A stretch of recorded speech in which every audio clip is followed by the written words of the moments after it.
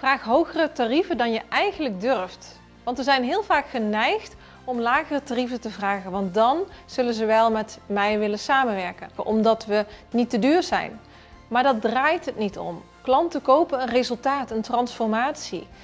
En als jij meer vraagt dan dat je eigenlijk durft te vragen, dan ga je ook vanzelf meer waarde leveren. Ga je lagere tarieven vragen, dan ga je onderpresteren. Dus wanneer je hogere tarieven vraagt, dan wil je dat ook echt waarmaken. Dan wil je ook echt het allerbeste leveren. En dan ga je ook vanzelf meer in jezelf investeren om het ook echt daadwerkelijk waar te maken.